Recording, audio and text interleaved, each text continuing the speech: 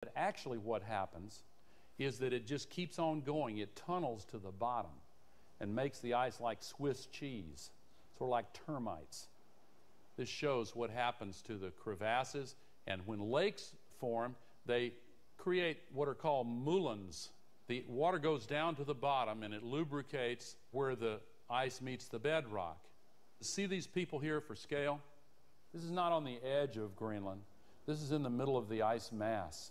This is a massive, rushing torrent of fresh meltwater tunneling straight down through the Greenland ice to the bedrock below.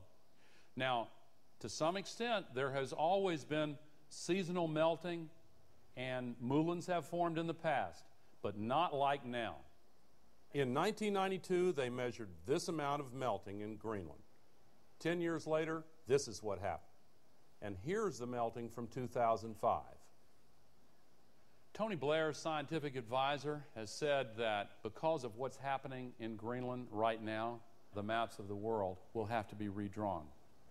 If Greenland broke up and melted, or if half of Greenland and half of West Antarctica broke up and melted, this is what would happen to the sea level in Florida.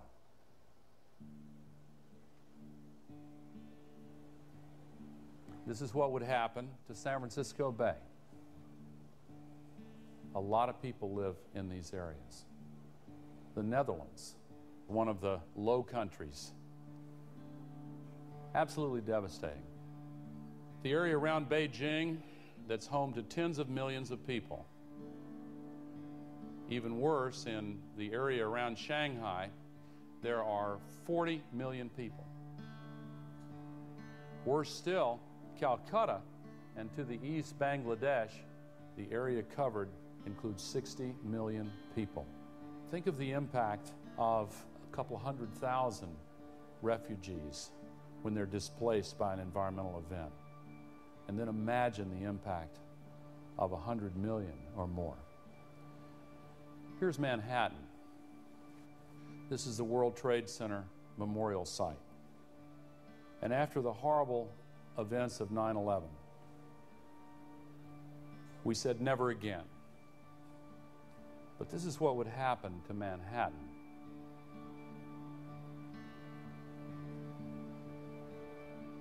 They can measure this precisely, just as the scientists could predict precisely how much water would breach the levees in New Orleans.